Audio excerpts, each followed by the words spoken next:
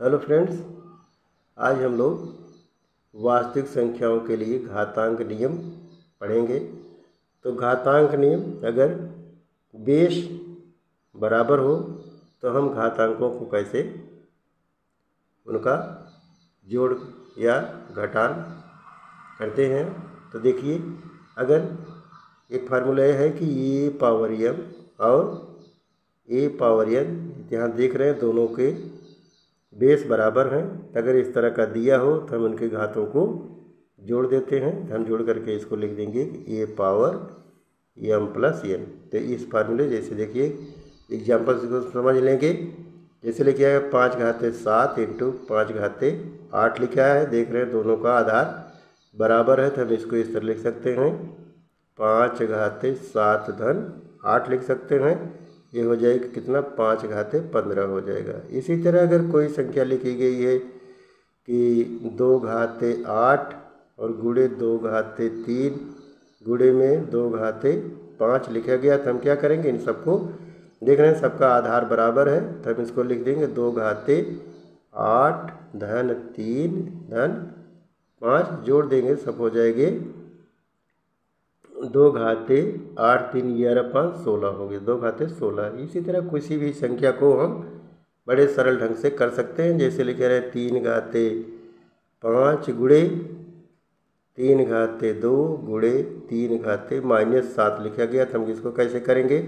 अब देखिए हम इसको लिखेंगे, तीन घाते पाँच धन दो माइनस सात तो कितना हो जाएँगे? ये देख रहे हैं, तीन घाते सात माइनस सात अर्थात ये हो गया तीन घाते ज़ीरो हो गया। अब तीन घाते ज़ीरो, अगर किसी संख्या की घात ज़ीरो हो जाती है तो उसका मान हमेशा एक होता है। इस तरह से इसका मान आ जाएगा एक।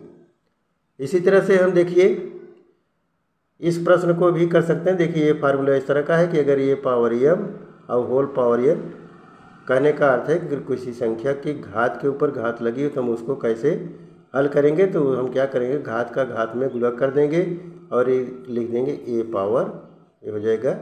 ई एम एन हो जाएगा। जैसे देखिए लिखा गया है कि पाँच घाते सात, इसके ऊपर देखिए घाते सात पाँच की लगी है। तो हम इसको लिख देंगे पाँच घाते सात गुड़े पाँच हो जाएगा। इसको लिख देंगे पाँच घाते पैंतीस हो गया।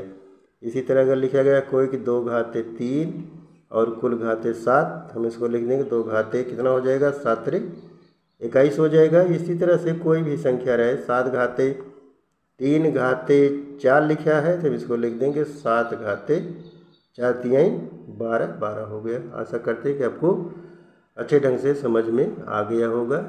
इसी तरह से हम देखिए, इस प्रश्न को भी कर लेंगे। ऐसे देखिए, लिखा गया है कि ए पावर एम बटे ए पावर एन बराबर A power M minus N. तो ऐसे प्रश्नों को हल करने के लिए हम क्या करेंगे? हम इसको इस तरह लिख देंगे। ये हो जाएगा तीन घाते सात और ये माइनस चार हो जाएगा तो बराबर कितना आ जाएगा? आ गया तीन घाते चार। कोई भी प्रश्न इस तरह का या इस तरह लिखा रहे, हम इसको इस तरह भी कर सकते हैं। लिखा रहे कि पाँच घाते सात भागे पाँच घाते तीन लिखा है, तब भी हम करेंगे इसको, लिखेंगे पाँच घाते सात माइनस तीन कर देंगे, सात माइनस तीन कर दें कितना आ जाएगा? ये आ जाएगा पाँच घाते चार। तो ऐसा करते हैं कि आपको अच्छे ढंग से समझ में आ गया होगा। देखिए, कुछ इस तरह का है। जैसे लिखा रहे, A power M, B power M. कहने का अर्थ यह है कि अगर संख्याएँ भिन्न भिन्न हो, लेकिन उनकी घातें बराबर हो तो हम उसको कैसे लिख सकते हैं? तो देखिए, अगर इस तरह लिखा रहे तो हम इसको लिख सकते हैं, ए बी पावर वॉल्यूम, मैंने हम उन संख्याओं दोनों का गुणा कर दें, गुणा करके ऊपर घात लगा देंगे। तो जैसे देखिए, लिखा गया है कि दो घाते दो बटा तीन, और यहाँ पर देखिए लिखा गया है, तीन घाते दो बटा तीन, देख रहे हैं दोनों का घात बराबर है तो हम इसको इस तरह लिख सकते हैं कि दो गुड़े तीन, दो गुड़े तीन, और कुल घात ऊपर हो जाएगा दो बटा तीन। मैंने हम इसको लिख देंगे ये हो जाएगा छः घाते दो बटा तीन हो गया। इसी तरह अगर कोई संख्या लिखेगी पाँच घाते पाँच लिखा गया है और सात घाते पाँच लिखा गया तो हम क्या करेंगे? इसको लिख सकते हैं कितना?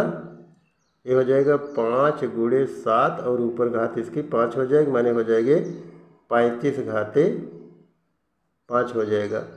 इसी तरह से कोई संख्या अगर लिखी गई है कि दो घाते तीन